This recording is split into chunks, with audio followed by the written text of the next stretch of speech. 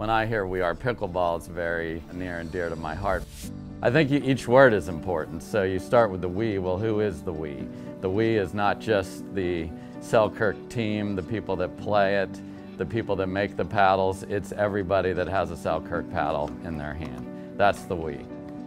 And then R, so R is like, okay, what is what does that word mean? Well, it is truly the connection to something. And in this case, it happens to be pickleball. So we're feeling it, we're living it. When we have the S on our shirt, we're not just playing for me, Dave Fleming, and my partner, but for everyone that is Selkirk. And everyone that uses a Selkirk paddle talks very affectionately as if it's an important part of their life.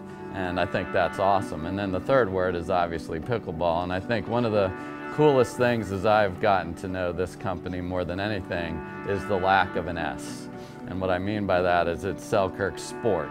It's like one of the very few that doesn't have S on the end because it's not sports plural. There isn't another sport. So when you guys say, and we all say, we are pickleball, we are Selkirk Sport, no S, and we believe in one thing, and all of our energy is focused in on pickleball alone. When we as players say it, when we as rec players say it, when you as the owner of the company says it, it's true. And I think that's what's most important from a consumer standpoint.